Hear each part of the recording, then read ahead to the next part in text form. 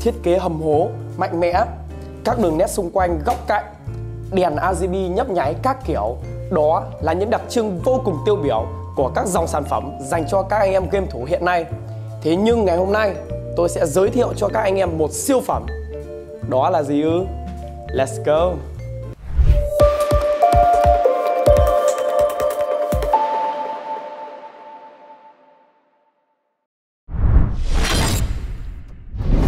Được thiết kế định hướng cộng đồng Content Creator Box với màu trắng bắt mắt trông khá là công nghệ tương lai. Rồi, nhìn sơ bộ về sản phẩm này. Về mặt đằng trước thì không thể thiếu rồi Đó chính là tên của em nó GeForce RTX 4070 Ti Aero.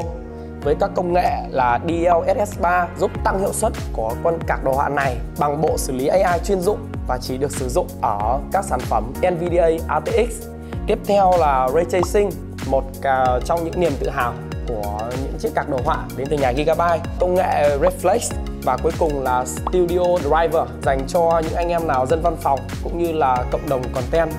Và mục đích chính của cái dòng sản phẩm này là muốn hướng đến chính là Studio Driver. Về cái mặt đằng sau thì không thể thiếu rồi.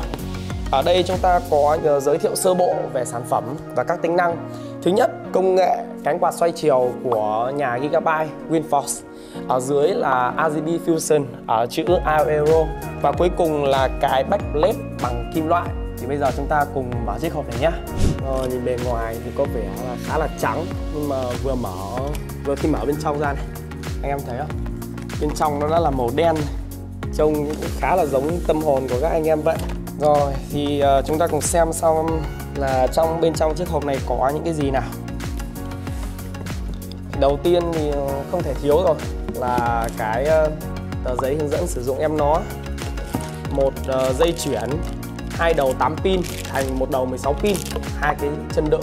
Về cơ bản thì cũng giống như bản gaming OC thì ở Aero OC này cũng không có quá nhiều sự thay đổi về mặt thiết kế.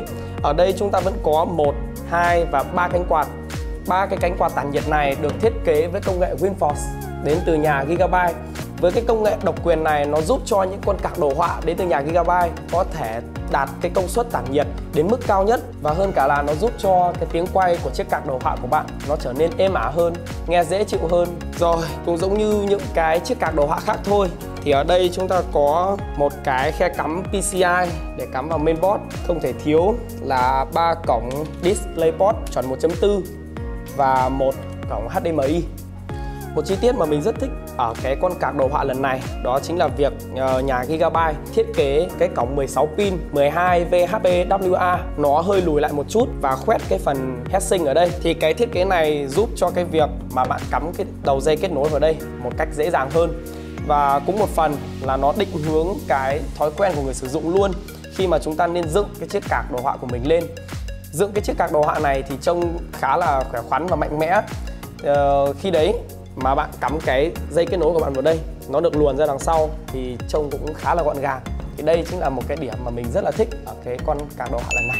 Như mình cũng đã nói ở trên thì đèn nháy RGB ở sản phẩm này nó không còn xuất hiện ở trên ba cái cánh quạt này. Thế nhưng nó lại xuất hiện ở một chỗ khác đó chính là chữ Aero này. Thì như có giới thiệu ở phần vỏ hộp thì backplate được sản xuất bằng kim loại với cái phần che là phần GPU và để lộ phần screen cooling khá là lớn. Cái bộ phận này nó đã xuất hiện từ thế hệ 2000 series. Thế nhưng đến với thế hệ 3000 series thì nó trở nên nổi bật hơn.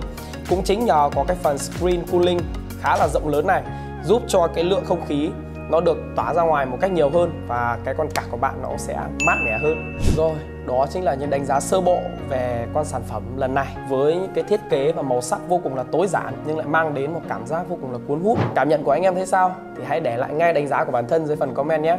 Nhớ like và subscribe cho PCM Channel để biết được những thông tin mới nhất về những sản phẩm mới nhất đến từ PCM nha. Xin chào và hẹn gặp lại.